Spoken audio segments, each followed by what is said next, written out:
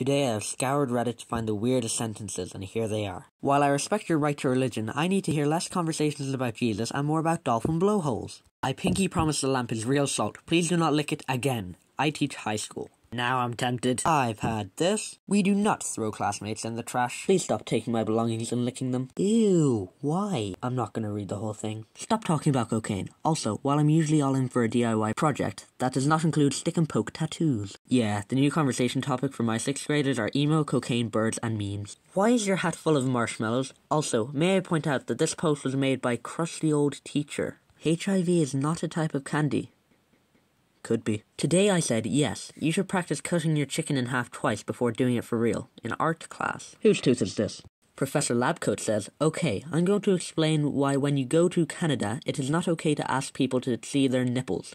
China in 11th grade. Separate occasion. Guys, it is not okay to slap another person's ass even if it is your friend. No more bodybuilder cats. That was an interesting week to say the least. You know, I'm not sure how much a baby would cost on the black market. Does someone want to look that up for me? $362 and a quarter kilo of meth, plus some time in jail. Why does her profile picture remind me of Zendaya? Probably that one time I had to stop a math lesson and call the social studies teacher to bring over a map of the United States to convince a bunch of 8th graders that Texas is a part of it. I am not going to teach you how to make heroin. I teach English. They call it a period because it comes in cycles. To follow up on that one, get your hands out of your pants. Please don't throw grenades in my classroom. This one's too long to read, so I'll let you read it. Please stop eating your socks. I wonder what context led to that one. I'm sure you would make a very lovely pterodactyl. The problems can be long but not hard. Those are my problems. Why are you snorting flour? Finger your A.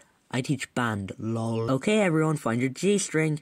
Teach orchestra, Lama. Do not stare at the sun. Stop. It is not okay to hump a chair. No, I'm not trying to make you gay. Squats can't do that. Only you can decide if you are gay. I know you can do worse than this. Try harder. Put the potato on my desk. Now. And to finish it off, please stop lubricating the door latch with lotion.